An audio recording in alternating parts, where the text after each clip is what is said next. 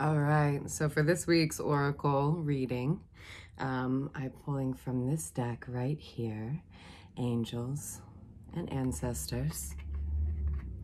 And the card that I pulled is Earth Mother, feel loved and comforted. All right. So the message is allow yourself to be cherished. Earth Mother is protecting you with a shield of love and light. Earth Mother is the female counterpart to Sky Father.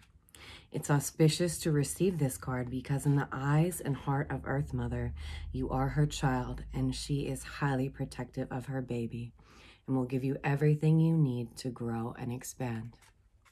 Earth Mother is only covered by leaves in this card, showing her vulnerability to the earth Every day she, ex she experiences challenges that she has to adapt to and overcome.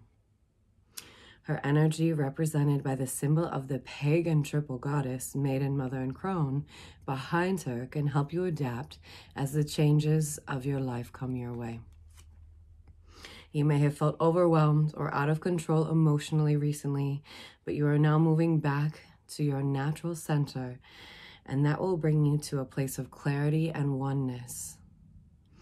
If you have felt under un, ungrounded, know that Earth Mother is here to root you and help you to regain your sense of strength. You may not feel like a child, but in the eyes of the divine, you are a child of light, and it's important you know that you are loved. If you have had challenges with your mother or with being a mother yourself, know that the energies of mother healing are with you to help you clear any ancestral blockages that are preventing you from making this sacred love connection. You are being guided to make choices that are based on love. All right.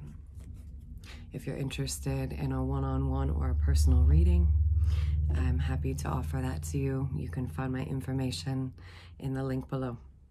Until then, namaste. Be well.